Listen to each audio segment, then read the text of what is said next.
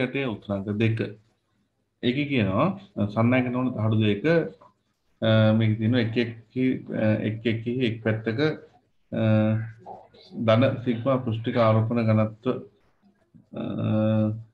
සහිත විශාල සන්නයක නොවන තල තහඩු දෙකක් පෙන්වා ඇති පරිදි එකිනෙක සමාන්තර පිහිටා ඇත.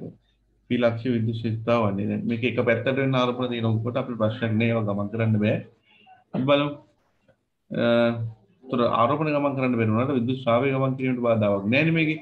අපි ගවස් පෘෂ්ඨයක් නිර්මාණය කරනවා මේ ආකාරයෙන් පී ලක්ෂ්‍ය දැන් පී ලක්ෂ්‍ය නෙවෙයි ගන්න පී ලක්ෂ්‍ය යන ගවස් පෘෂ්ඨයක් නිර්මාණය කරනවා. ඒක බලන එක මොකෝ වෙන්නේ?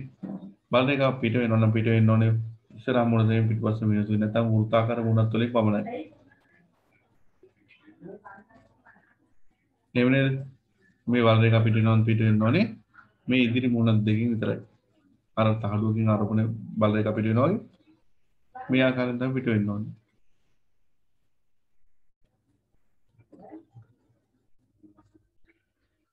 මේ ආකාරයෙන් තමයි පිට වෙන්න ඕනේ. ඒතර සම්මිති ගානෝ දෙපැත්තට සමාන විදිහට ශේෂ දියුතා නිර්මාණය වෙන්න ඕනේ. මේ පැත්තේ E නම් මේ පැත්තේ T.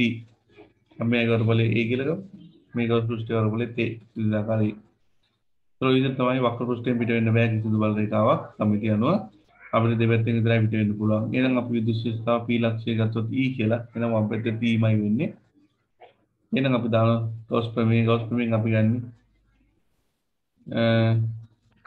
අපි ගෝස් ප්‍රමේය ලියන්න පුළුවන් මේ ආකාරයෙන්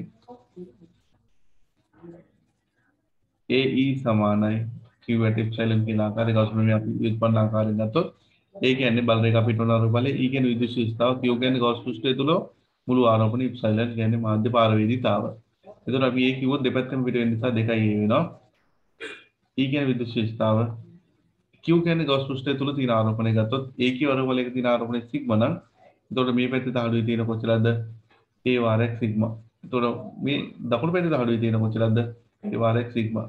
වම් පැත්තේ දාළුවේ තියෙන ඒ වාරයක් සිග්මා දකුණු පැත්තේ දාළුවේ ඒ වාරයක් සිග්මා දැන් දෙකයි ඒ වාරයක් සිග්මා වෙනවා ඉප්සලන් එතකොට මොකෝ වෙන්නේ දෙකයි ඊට දෙකයි එක පිළ යනවා E කියන්නේ එක පැත්තක විද්‍යුත් ශිෂ්ටතාව සමාන වෙනවා. සිග්මා විදිහේ ඉප්සලන් අන්න අපිට උත්තරේ එනවා සිග්මා විදිහේ ඉප්සලන් සිග්මා විදිහේ ඉප්සලන් කියන උත්තරේ අපිට තියෙන උත්තර අංක දෙකයි ඉතින් මාධ්‍ය ඉප්සලන් නෝට් නිසා ඉප්සලන් නෝට් කියලා එනවා.